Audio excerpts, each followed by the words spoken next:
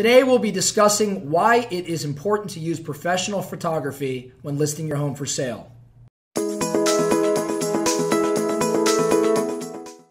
Hello, I'm Brian Gubernick here with my business partner, Jason Abrams, and today's blog will be discussing why it's important to use professional photography when listing your home for sale. Before we jump into the uh, topic, though, I'd like to call your attention to two links uh, the first one, free home value. If you are considering selling your home, you want to click on this link and have us value your property. We'll tell you uh, if selling your home might be the right decision for you uh, today.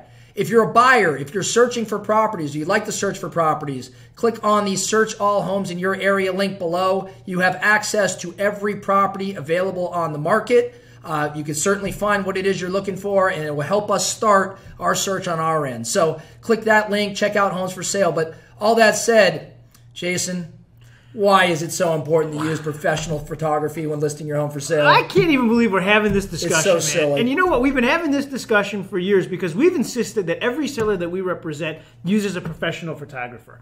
It's the most basic of principles.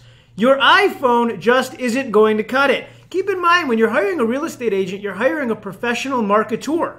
Somebody who's going to put your home in the best light possible. Anyone that thinks a Polaroid is the way to do that has really missed the boat. It's ridiculous. Have you actually ever visited some of these websites that are out? Well, actually, I'm sure the public hasn't seen some of these realtor websites like we get to see, but there are literally websites dedicated to horrible MLS photos, comical photos. Not just like, you know, some some clothing laying off in the corner of the room, but some things I don't even want to discuss on this video showing up in MLS photos. It's absurd. Right. No, it's, it's ridiculous. The truth of it is, the vast majority of people that come into contact with your property will never set foot in your home. That's just the truth of it. And by the way, you wouldn't want them to. The idea isn't to have more showings. The idea is to have more offers, which means how do we get more qualified people who are interested in your property into your house? Not how do we make you go sit in a park all day Sunday so we can walk strangers through it. That's absolutely right. The right photos help us do that. People look at them, they get an idea for it. And by the way, the right photo doesn't mean make your home look better than it is.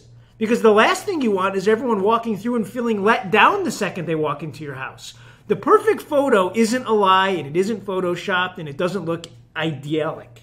Idyllic? Well, yeah, we'll roll with that. Idyllic. Sounds right. The right photo shows your home in the best light possible while being realistic about what it actually is. It's very true. I mean, the reality is, and I hate to say this, but the truth is this our competition uses an iPhone. I mean, it just happens. And why? I, it's beyond me. But the reality is, most of our competition will not spend in a year what we spend in a week marketing. And that's not, you know, us boasting. It's just that we believe things like professional uh, pictures, which cost money, are crucial to you selling the home. The bottom line is a picture, Jason, is worth a thousand buyers.